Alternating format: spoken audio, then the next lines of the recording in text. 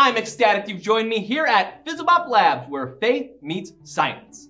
We have a marvelous, yet super simple experiment today we call chicken sounds from a cup. Have you ever heard a rooster crow or a chicken cluck? In today's experiment, we are going to replicate, which means copy, the sound of a chicken. Sound is a wondrous thing. It is invisible, yet impactful. You can't actually see sound, though you can see its effects on things or even feel it yourself. Some sounds are quiet and some are very loud. And today, we're going to create an amplifier that will make the sound we produce louder and easier to hear. Are you ready? All right, let's make haste and begin. Gather your fellow scientists, friends, and family. My assistant today is Waverly. Hi. First, I want to give you a safety warning.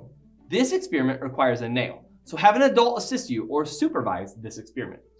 Next, you'll need to gather a few supplies for our project. We'll read the Fizzlebop supply list and show you the items, and then if you want, pause the video to go gather your supplies. I promise we'll wait right here until you come back and push play. The items in the Fizzlebop supply list will create one amplifier. So if you have several scientists, we have two, gathered together, be sure to get supplies for each person. All right, Waverly, our first item is a plastic drinking cup. Excellent. Then we need a nail. Next, we need 24 inches, or in metric, 60 centimeters of yarn or cotton string. Awesome. Fizz tip, nylon string does not work well for this experiment. You'll also need a paper clip, a roll of paper towels, and some water in a bowl. Go ahead and pause the video if you need to go gather your supplies. Now it's time for some fantastic fun. Are you ready for the experiment? Waverly, are you ready? Yes. Wonderful. First, we're going to use a nail to delicately punch a hole in the center of the bottom of the cup. Center, bottom. Take your nail, punch a hole right in the center. Good job. Looks like a great hole. Okay, got our nails. We can put these to the side now.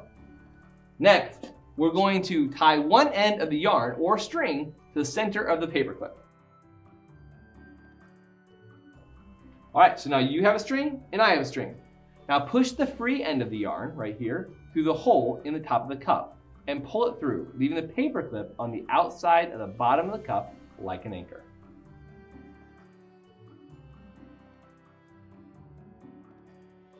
It should hang like an anchor. See how the uh, paperclip is an anchor on the bottom of the cup. Thanks for helping me. No problem.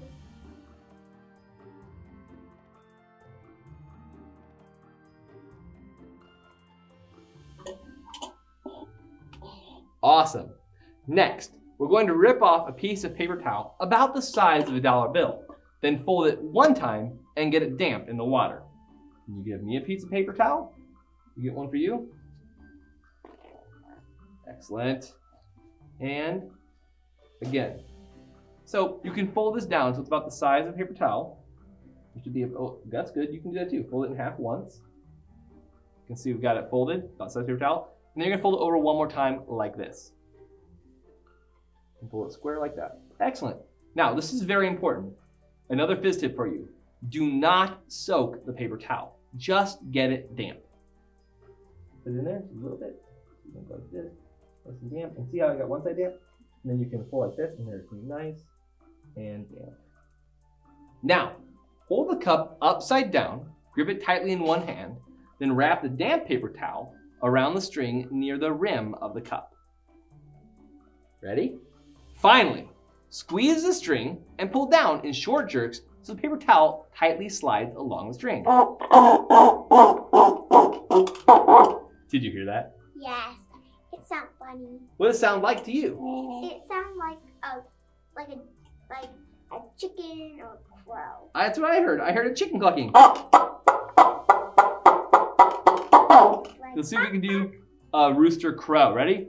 Let's see if we can make a crow sound. Yeah, didn't really do it, huh? But you definitely hear the chicken clucking. All right. Well, I hope you really enjoyed this experiment. Dr. Fizzlebop, what's happening? Well, the vibrations from the string are nearly silent. However, when you add the cup, it amplifies its vibrations. Have you ever noticed the hole in a guitar? It's directly under the strings. This feature is called a sound hole, and it's used in acoustic guitars, mandolins, violins, lutes, and other instruments. Each of these instruments uses a feature like our amplifier to increase the volume of sound vibrations. Pretty cool, huh? Yeah. Has anyone ever called you chicken because you didn't want to do something? What would you do if soldiers showed up to kidnap your best friend? Would you stay or would you run and hide so the soldiers wouldn't take you too? After Jesus was arrested, Peter faced this very dilemma.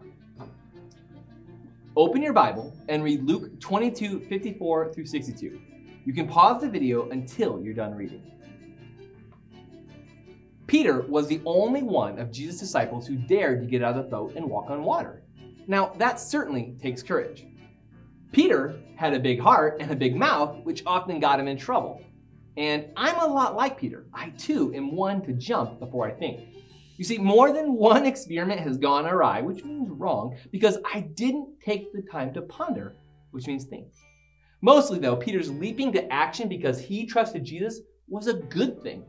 And yet, Peter and I have something else in common, too. Something not so fantastic. You see, this one kid in my class, Max, was really good at art. He could sculpt anything out of clay. And he made the best, funniest comic strips. I mean, they were so funny. But one time, my friends were making fun of one of Max's projects. I heard a voice in my head telling me this wasn't right, but I did nothing. Then, one of my friends tripped Max as he walked by. His clay sculpture fell and shattered into a gazillion pieces. A screw twisted in my stomach, and the voice inside me said this wasn't right. Yet again, I didn't listen, and I said nothing. Finally, as Max began to cry over the destruction of his masterpiece, my friends started to laugh and point. And though my stomach churned and the voice sounded louder and louder and louder, I still did nothing. I just followed my friends as they walked down the hall and gave each other high fives while I heard Max's whimpers behind me. That night in my room, as I tried to pray, I began to cry. I realized how wrong I'd been. I hadn't acted as God had created me to act. In fact, like Peter, I denied Jesus three times. I tell you the truth, Peter, this very night before the rooster crows, you will deny three times that you even know me. Matthew 26, 34. Three times the Spirit of God had prompted me to act, and three times I'd ignored him. I knew what I had to do. So the next day, I sought out, which means look for, Max. He turned away as I approached, embarrassed. But I tapped him on the shoulder and said, Max, I'm very sorry. I told him that I was a Christian, but I hadn't acted like one, and that I was sorry for not standing up for him. You know what? Instead of being angry or blowing me off, Max surprised me. He quoted my favorite Bible verse, Ephesians 4:32. Be kind to each other, tenderhearted, forgiving one another, just as God through Christ has forgiven you. Max smiled. He said, Phineas, I forgive you. Relief washed over me, and that was a turning point in my life. It wasn't as though I never sinned again, but I knew that if I did, the best thing I could do was face the one I'd wronged and apologize. And you know, Peter changed too after that. Jesus forgave him. Peter became a man of action once again. This time, he would be sure his actions weren't based on his own ideas, but God's. In Luke 22 32, Jesus told him, Strengthen your brothers. So that's what Peter did. He went on to become one of the greatest, most fantastic leaders of Christ followers with his weakness turned to marvelous strength. His story gave me hope then, and it gives me hope today. Is there someone in your life you've been unkind to? Or have you stood by while others were unkind to that person? Pray for God to give you the opportunity to not only seek forgiveness from them, but perhaps even become friends. As you ponder, which means to think, about the experiment and devotional, take a moment to answer these questions or discuss with your fellow scientists. Do you think the chicken sound would be louder if you used a larger cup. Why or why not? What other materials might you try rubbing on the string instead of a paper towel? Test them out to see if they create different sounds or no sound at all. And last, think of a time you disobeyed Jesus and later asked for his forgiveness. How did you feel to be forgiven by him? Is there anything you need to ask for forgiveness right now?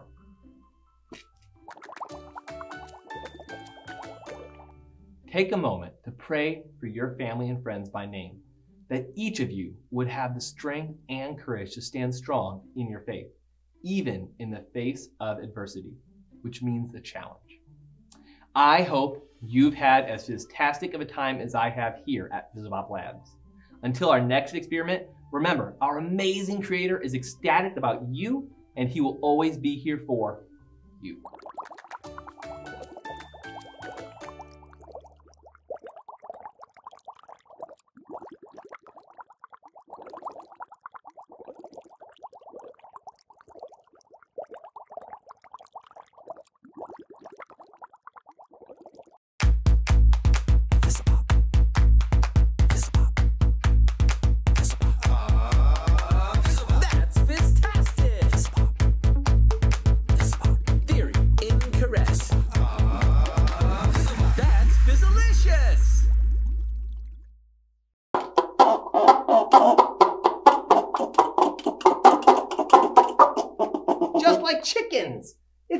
Chickens. Quack, quack. You ever have a pet chicken? No. You ever want a pet chicken?